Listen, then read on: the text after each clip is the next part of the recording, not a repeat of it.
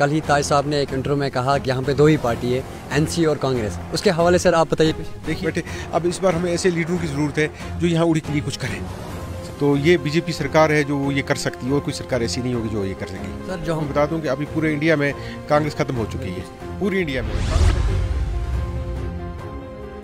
पूरी इंडिया में। कांग्रेस का कोई ये इस वक्त फेस वैल्यू नहीं है इंडिया ये ये उन्होंने पहले भी कहा था 2014 में तो वो थर्ड नंबर पे पहुँच गए। उसी अपनी इस, इस, इस बात की वजह से वो थर्ड नंबर पे चले गए। अगर आप एक अच्छे बिजनेसमैन थे तो उसके बावजूद भी आप सियासत में आए क्यों? बीजेपी पावर बीजेपी पावर में आई यहाँ पे उड़ी में उन्होंने अगर सीट निकाली कभी भी। मैं तो यूथ के लिए मैं बहुत कुछ करूँगा यहाँ के लिए। यूथ के लिए जब पहुँच गई किसी को अंडर एस्टिमेट नहीं करना चाहिए जब तक आदमी जीत ना जाए तब तक ये सोचना चाहिए कि मैं हरा हुआ हूँ। यहाँ पे एक दरीनी मांग है सर फायर सर्विस की। क्या सर आज तक वो फायर क्या सर आज तक वो फायर सर्विस नहीं मिलेगी क्योंकि हादसे बहुत सारे होते हैं चाहे मैं एक प्रेजेंटेशन भेजी है अपनी कि यहाँ जो है फायर सर्विस बहुत ज़रूरी है। देखिए मसला ऐसा है कि यहाँ पे मैंने आपको पहले भी कहा हमेशा से सेंट्रल गवर्नमेंट ने जो भी यहाँ से जीत गया उसको कैबिनेट मिनिस्टर बनाया। कैबिनेट मिनिस्टर बनने के बाद वो घर में सोए रहे जाके उन्हें कुछ किया नहीं। लोगों को कहा देखो हम ये कर रहे हैं आपके लिए वो कर रहे हैं। कोर्ट यहाँ पे कम से कम पाँच किलोमीटर के रेडियस में हमको अपना पावर होना चाहिए फ्री पावर होना चाहिए था। इवन कि अब उनके ट्रांसफार्मर अगर हम आपके जो मंशूर हम जानना चाहें कि हमारे यूथ के लिए आपका क्या होगा सर? अगर अगर कभी बीजेपी पावर में आई यहाँ पे उड़ी में उन्हें अगर सीट निकाली कभी भी तो यूथ के लिए मैं बहुत असलम नाजरीन, आप देख रहे हैं जेके रिलेशन जेके रिलेशन देखने वालों को मलिक नासिर का सलाम। नाजरीन, आपको बताते चले, इस टाइम हमारे साथ जो मौजूद है, young and dynamic leader Waqar Asif साहब, हाल ही में इन्होंने बीजेपी ज्वाइन किया है। इनसे हम मज़ीद जानना चाहते हैं कि आखिर सियासत में आए क्यों? क्या मंशूर लेके आए हैं? यही बात करने के लिए आज हम मौजूद है। हम इस टाइम आ चुके हैं वकार साहब के पास। सबसे पहले सर आपका शुक्रिया अदा करना चाहते हैं कि आपका भी आपका भी शुक्रिया आप आए यहाँ पे हमसे मिलने के लिए। सर अगर आप एक अच्छे बिजनेसमैन थे तो उसके बावजूद भी आप सियासत में आए क्यों? एक्चुअली यहाँ पे मैंने उड़ी का हाल देखा जब मैं काफ़ी बार यहाँ आया। मैंने यहाँ देखा कि यहाँ पे जो हमारे लीडर्स आए बने बड़े बड़े कैबिनेट मिनिस्टर आए बाकी लोग आए यहाँ पे काफ़ी डेवलपमेंट होनी चाहिए थी। तो यहाँ पे जब मैं आके देखा तो यहाँ कोई डेवलपमेंट ही नहीं है। यहाँ के यूथ परेशान हैं अनएम्प्लॉयमेंट राइज पे है काफ़ी ज़्यादा। यहाँ पे यूथ बड़ा परेशान है, उनके लिए कुछ करने के लिए कुछ है ही नहीं। इवन के प्ले ग्राउंड्स नहीं है यहाँ पे हमारे पास अच्छे अच्छे। मैंने यहाँ पे बुनियाद में देखा, इतनी खूबसूरत जगह है। काफ़ी टूरिज़्म डेवलपमेंट होना चाहिए था, नहीं है। तो यूथ का परेशानियाँ देख के यहाँ इलाके की परेशानियाँ देख के मैंने कहा, मैं भी जाता हूँ पॉलिटिक्स में तो कुछ इलाके के लिए करने के लिए खाली। इस उड़ी के लिए कुछ, या नॉर्थ कश्मीर के लिए कुछ करें सालों में मैंने जो देखा यहाँ पे, जबकि हमारे अपने कैबिनेट मिनिस्टर्स थे यहाँ पे, जिन्होंने बड़े बड़े वादे किए यहाँ पे इलेक्शन जीतने से पहले तो उसके इलेक्शन जीतने के बाद वो गायब हो गए सारे के सारे। और यहाँ पे उन्होंने ऐसा कुछ नहीं किया यहाँ आर्मी के ने रोड्स बनाए, आर्मी के रोड्स थे बने पी एम के बने, बाकी चीज़ें बनी, लेकिन जो सेंट्रल गवर्नमेंट की स्कीम्स थी वो इम्प्लीमेंट हुई, वो तो हर जगह में इम्प्लीमेंट हुई। साउथ कश्मीर नॉर्थ कश्मीर और हमारे सेंट्रल कश्मीर में भी वो स्कीम्स आई। तो यहाँ अगर हम आपके जो मंशूर हम जानना चाहें कि हमारे यूथ के लिए आपका क्या होगा सर अगर कभी भी बीजेपी पावर में आई, यहाँ पे उड़ी में उन्हें अगर सीट निकाली कभी भी, मैं तो यूथ के लिए मैं बहुत कुछ करूँगा यहाँ के लिए। यूथ के लिए जैसे प्ले ग्राउंड से उनके लिए वो इंडस्ट्री डेवलपमेंट यहाँ की सबसे पहले इंडस्ट्री है तो काफ़ी एम्प्लॉयमेंट जनरेशन हो सकती है। अगर इंडस्ट्री नहीं है तो एम्प्लॉयमेंट जनरेशन ही नहीं हो सकती है। इंडस्ट्री जैसे हमारी एक रख लो जैसे जो हम इंडस्ट्री स्टेट यहाँ बनवाएँगे, वहाँ पर इंडस्ट्रीज़ लगेंगी। दूसरा है कि जो हमारे टूरिज़्म प्रमोशन है, उसको यहाँ करके वो उस इंडस्ट्री सारी इंडस्ट्री को एक्टिव करके मैक्सिमम हम चाहेंगे कि यहाँ लड़के जो हमारे, जो अनएम्प्लॉयड हैं, वो एम्प्लॉयमेंट की तरफ़ चले जाएँ। सर, अगर हम प्ले ग्राउंड की बात करें, क्या हमें सर बोनियार, क्या उड़ी की बात करें, क्या सर बोनियार में आपको कहीं पर प्ले ग्राउंड लग रहा है कि कहीं पर है? जिस तरह की खेलने की जगह हो चाहे हम देखेंगे सर बोनियार की बात करें कि लड़के एक छोटी सी हाई सेकेंडरी में खेल रहे हैं लेकिन वो हाई सेकेंडरी भी स्कूल का ग्राउंड है। बिल्कुल वो लड़कों का अपना नहीं है सर प्राइवेट होना चाहिए सर यहाँ पे। देखिए ग्राउंड हर जगह होना चाहिए। प्राइवेट के ग्राउंड जो होता है सबका ही होता है। ये गवर्नमेंट की चीज़ है जो आएगा वो खेलेगा वहाँ पे। लेकिन हमारे यहाँ पर मैंने देखा टेढ़े मेढ़े ग्राउंड है हर जगह में। इवन कि हमारे पलीपुरा में मैंने देखा बाकी आगे भी मैं उड़ी में काफ़ी जगहों में गया टेढ़े मेढ़े ग्राउंड है जहाँ पर अगर किक हिट मारेगा आदमी तो बाल ही नहीं पहले मिलेगी पता नहीं कहाँ से कहाँ पहुँच जाएगी। तो लाने के लिए भी बड़ा मुश्किल है वहाँ जाना नीचे। तो अच्छी सबसे बड़ी बात है कि एक अच्छे से डेवलप किए जाए यहाँ ग्राउंड अच्छे से स्टेडियम टाइप के छोटे छोटे से अच्छे खूबसूरत से ग्राउंड डेवलप कीजिए जहाँ पे हमारे बच्चे खेलें शाम को आके। क्योंकि आपको पता है आजकल हमारे बच्चों जो है हमारे उनके जो पेरेंट्स से बड़े परेशान रहते हैं। उनको लगता है कि मोबाइल देख देख के बच्चे आँखें ख़राब होगी हमारे बच्चों की पढ़ाई नहीं कर पा रहे हैं उनके गलत उनको इम्पेक्ट पड़ रहा है उनकी आ, सोच पे इस मोबाइल की वजह से। तो इस इन चीज़ों से दूर भागने के लिए एक ही चीज़ फिर रहती है हमारी फ़िज़िकल एक्टिविटीज़ फ़िज़िकल एक्टिविटीज़ के लिए ज़रूरी है ग्राउंड होना। और ग्राउंड नहीं है तो वो खेलेंगे कहाँ पे? ये तो इम्पॉसिबल है कि वो बाहर जाके कहीं पे भी शुरू जाएँ बैडमिंटन लेके या बल्ला लेके या बैट लेके तो उसके लिए ग्राउंड होना बहुत ज़रूरी है। सर अब आप पॉलिटिक्स की बात करें कल ही ताज साहब ने एक इंटरव्यू में कहा कि यहाँ पे दो ही पार्टी है एनसी और कांग्रेस। उसके हवाले सर आप बताइए कुछ। देखिए ये उन्होंने पहले भी कहा था टू में तो वो थर्ड नंबर पर पहुँच गए। उसी अपनी इस, इस, इस बात की वजह से वो थर्ड नंबर पर चले गए।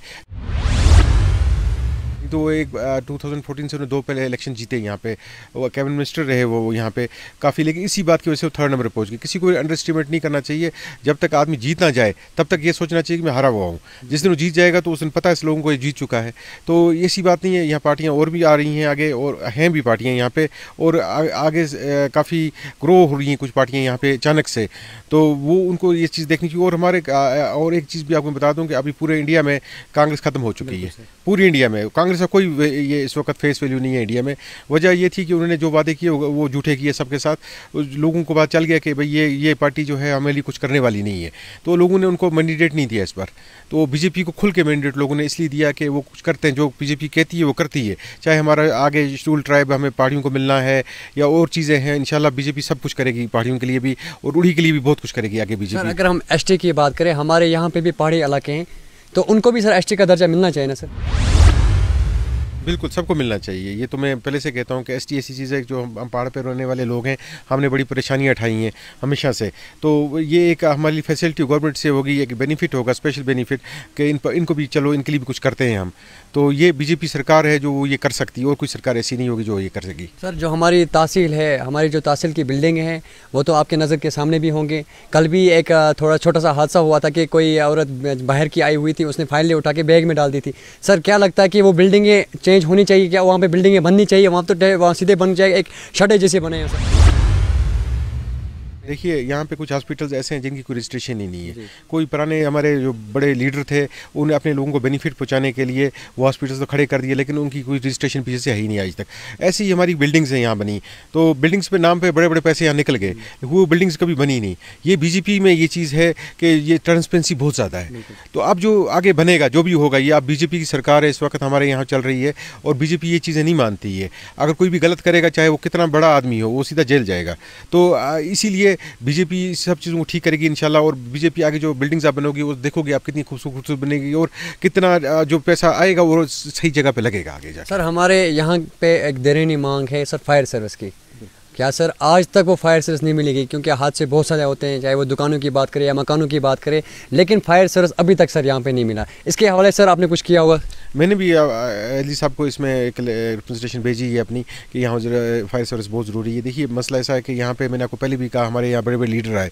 हमेशा से सेंट्रल गवर्नमेंट ने जो भी यहाँ से जीत गया, उसको कैबिनेट मिनिस्टर बनाया। कैबिनेट मिनिस्टर बनने के बाद वो घर में सोए रहे, जाके उन्हें कुछ किया नहीं। लोगों को कहा, देखो, हम ये कर रहे हैं, आपके लिए वो कर रहे हैं, कोठे दे रहे हैं आपको जो बाबा आदम के ज़माने के होते थे कोठे। आज के कोठ, कोठों की बातें ही नहीं होती हैं। तो ये चीज़ें दे रहे हैं आपको, जो मेन चीज़ें थी, जैसे फायर सर्विस कितने स्ट्रक्चर से हमारे डैमेज हो गए। मैं हमेशा अपने हर एक इंटरव्यू में ये बोलता हूँ कि बहुत गलत हुआ है कि आज तक हमारे पास यहाँ फायर सर्विस नहीं है।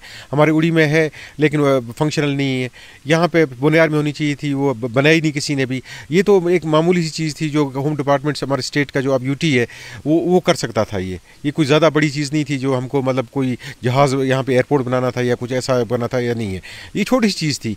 ये दो मिनट में हो सकती थी। नहीं चाहा उन्होंने, हमारे कैबिनेट मिनिस्टर बोला, यार छोड़ो इनको, क्या उड़ी वालों को अब फायर सर्विस देनी है? क्या होना, होने, हमें क्या है?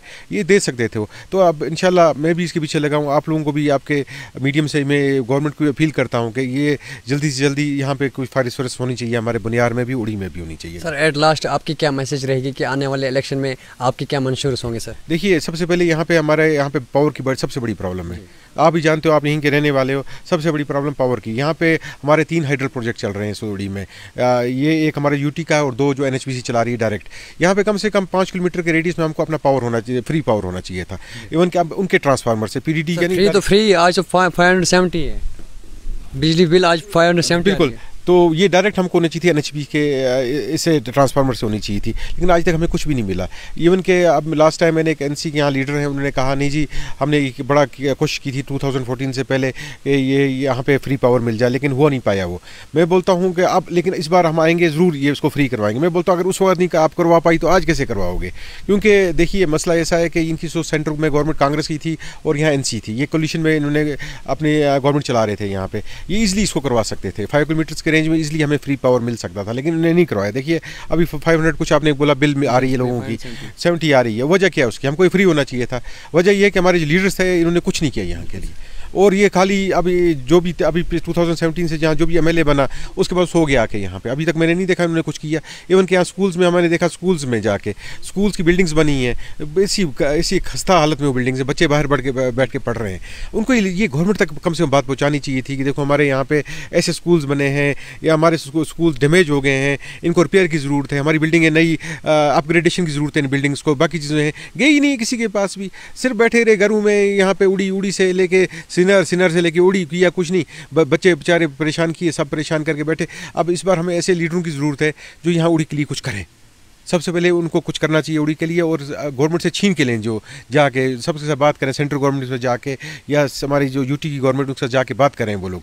और बोलें कि हमको ये चीज़ चाहिए, यहीं से लिस्ट चेक लिस्ट ले जाएँ और बोलें कि ये चीज़ हमें चाहिए, हमारे नौजवानों के लिए या हमारे बच्चों के लिए ये चीज़ें चाहिए और ये दोगे तो हम आपके साथ नहीं दोगे तो हम चले घर बाय बाय टाटा। ऐसे करके और छीन के लेना है हमने इनशाला गवर्नमेंट से और यहाँ पर इनशाला आप देखोगे आगे कितनी तरक्की होगी, अगर यहाँ बीजेपी की गवर्नमेंट आई।